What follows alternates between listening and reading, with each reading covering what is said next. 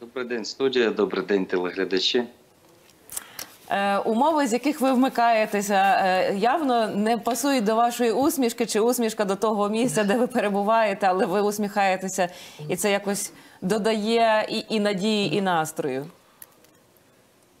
Ну, є таке. Нормальні умови, е, більш-менш нормальні. Тобто, це так можна сказати з нуля, та? Включення. Так.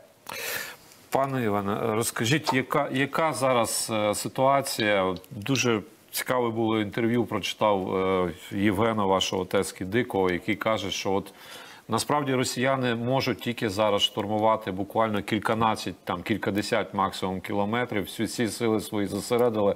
Але для вас, тих, хто їх там стримують, всю потугу, яка принаймні лишилася російської армії, це навряд чи дуже втішно. Е, Отже, яка зараз ситуація?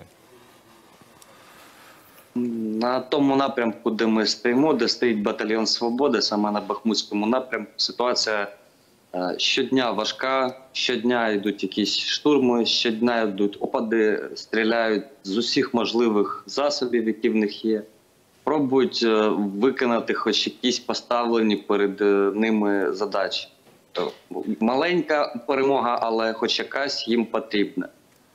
Тобто там штурмують, пробують, пробують підійти, підлізти, влізають в землю вже, закапуються, максимально закопуються. Вагнеря вже закінчились, О. з'явилися нові дешевешники, які також щось швиденько в землю закопуються. Ну, з цим чуть-чуть складніше воювати. Ці і дистанцію з, як, зберігають, коли пересуваються, і інтервал у них є, і не ходять вони так з, під, з гордо піднятою головою. Ну, чуть-чуть складніше воювати стало. Але інтенсивність е, не зменшується. Чи несуть, чи несе ворог втрати зараз на вашому напрямку? Дуже великі втрати ворога. Це ну це дійсно так. І помирають вони. Я не можу сказати, що тут тисячами їх там мільйонами помирає, але дійсно ворога дуже багато зараз саме мре на Бахмутському напрямку. Тобто, бо у нас були такі дні, ну дійсно продуктивні дні, коли ворог там сунувся е, по декілька по декілька груп. Було таке, що і 15, і 20 військових просто за день е, просто помирали на цьому напрямку. Доходить до Саме стрілецьких, від нас. до стрілецьких боїв на лінії зіткнення. Є стрілецькі бої, і вони продовжуються, але зараз ми стараємося не підпускати до піхоти. Е, До піхотинців е, ну, на, прямі постріли, щоб ввести стрілецький бій, це там дистанція е, 100-150 метрів. Тобто відпрацьовуємо на дистанції там 200-250 метрів з усіх можливих наших вогневих засобів. Тобто не даємо можливості ворогу ну, підійти до наших піхотинців. У деяких там бригад, у тих, яких немає там таких можливих вогневих засобів, немає там АГСів, немає СПГ. А я знову таки повторюсь, що дуже не вистачає на цьому напрямку важких якихось вогневих засобів, не вистачає техніки.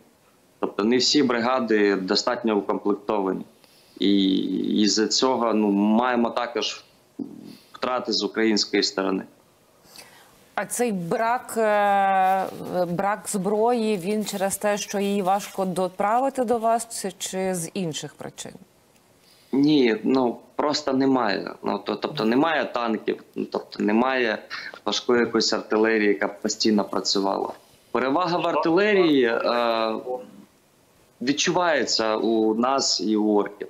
У нас є певні, знаєте, такі ну ліміти, не ліміти, які ми ну, не, не можемо використовувати більше, тому що там розуміємо, що на день там от, о, є така кількість певна мін і не більше. Ну, тобто хотілося б працювати більше, хотілося б працювати краще, хотілося б, щоб більше танків було. Ну, дуже чекаємо цих леопардів, які до нас приїдуть, будуть допомагати. Ну, на, наразі поки що їх немає. ще. Е, Дуже багато збито е, збивають останнім часом і літаків, і гелікоптерів російських. Тобто, я так розумію, дуже активна зараз авіація на вашій ділянці так само. російська? Дуже велика концентрація літальних апаратів зі скидами на нашому напрямку. Дуже велика.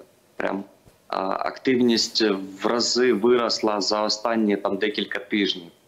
Тобто за останні там 2-3 тижні вони як е, ну, я не знаю, може в них там якісь підвози, е, дуже багато БПЛА, а саме оцих мавіків третіх, мавіків других. І вони їх використовують і пробують також скидувати на нас воги. Ну, це, це молодці вони. Тобто вчаться, вчаться потрошку. А літаючі хіди е, є такі ланцети ланцелоти, які також е, влучними попаданнями можуть знищувати і бліндажі, і техніку нашу.